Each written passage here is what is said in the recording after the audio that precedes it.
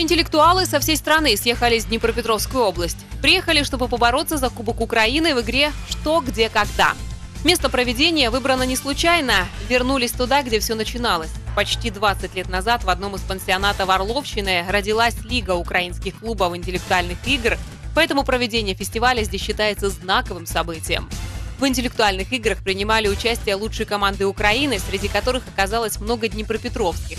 Кубок Украины достался киевской команде, а вот второе место заняли днепропетровские приматы.